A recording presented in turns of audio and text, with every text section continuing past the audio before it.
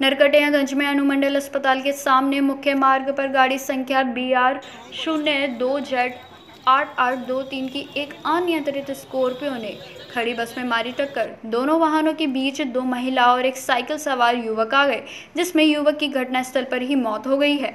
महिलाओं की स्थिति भी काफ़ी नाजुक बताई गई है। जिसमें युवक की पहचान नगर के वार्ड नंबर टू के महमूद आलम के पुत्र शाहिद आलम के रूप में की गई। साथ ही घटनास्थल पर शिकारपुर थाना के थाना प्रभारी रघुनाथ झा ने पहुंचकर शव को अपने कब्जे में कर शव को पोस्टमार्टम के लिए बतिया एमजी के हॉस्पिटल भेज दिया।